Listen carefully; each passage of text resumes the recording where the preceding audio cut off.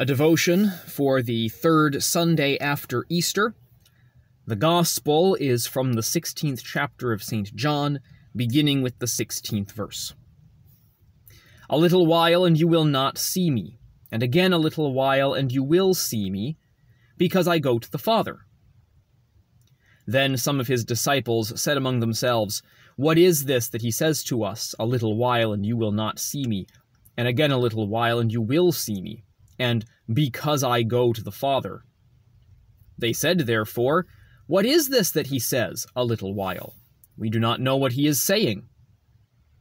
Now Jesus knew that they desired to ask him, and he said to them, Are you inquiring among yourselves about what I said, a little while, and you will not see me, and again a little while, and you will see me? Most assuredly I say to you, that you will weep and lament, but the world will rejoice and you will be sorrowful. But your sorrow will be turned into joy. A woman, when she is in labor, has sorrow because her hour has come. But as soon as she has given birth to the child, she no longer remembers the anguish, for joy that a human being has been born into the world. Therefore, you now have sorrow, but I will see you again, and your heart will rejoice, and your joy no one will take from you. And in that day you will ask me nothing. Thus far, our text. Our Lord Jesus Christ spoke these words at the Last Supper, before he was delivered up to be crucified. He tells his disciples plainly that they will weep. But the world will rejoice because the world wants the opposite of what the church wants. So it was that when the Christ was in the tomb, the church wept, while the world rejoiced. When the Christ rose again, the church rejoiced, and the world panicked. This is how it will be until the resurrection of the dead. The church and the world are enemies of one another, hating what the other loves. The church loves truth and life. The world loves death and lies. For this reason, the church, whose members live in the world, suffer all kinds of distress at the hands of the world. But she will have the final victory, because just as our Lord Jesus Christ has risen from the dead, so he will come again in glory, and we will rejoice forever while those of the world will weep forever.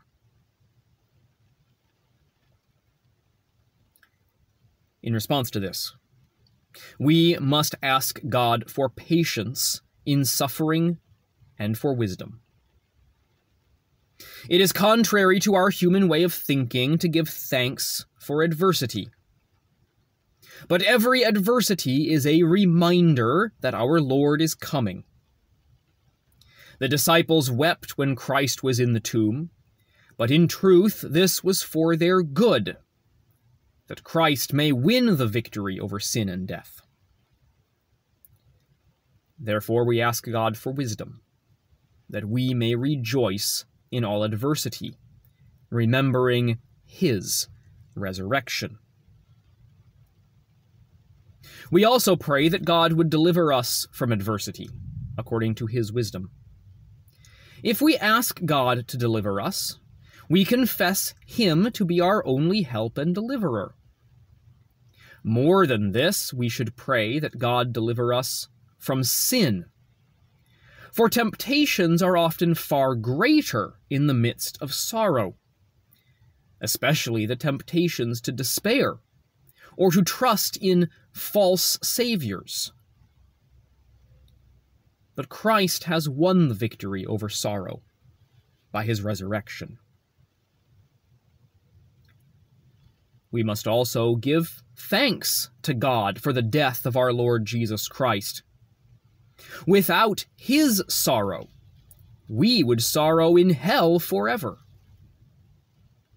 But now, because of his sorrow, and because of his resurrection, we learn to give thanks to God for our own sorrows, in that we become images of our Lord Jesus Christ to the world. For he was sorrowful and died and rose again for our deliverance. When the world rejoices, we weep. For the world hates us as it hated Christ. Therefore, the world rejoices in its own destruction, rejoicing in the sins with which it destroys itself.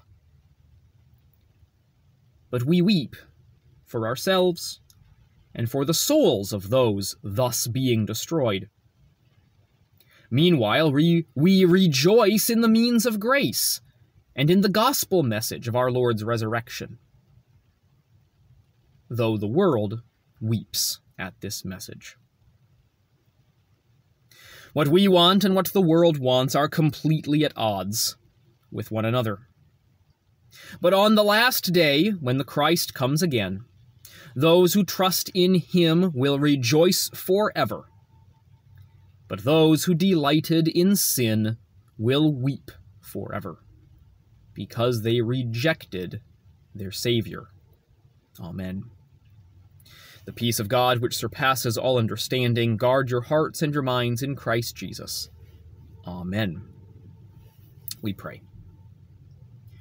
Almighty God, who showest to them that be in error the light of thy truth, to the intent that they may return into the way of righteousness. Grant unto all them that are admitted into the fellowship of Christ's religion, that they may avoid those things that are contrary to their profession, and follow all such things as are agreeable to the same. Through Jesus Christ, thy Son, our Lord, who liveth and reigneth with thee and the Holy Ghost, ever one God, world without end. Amen.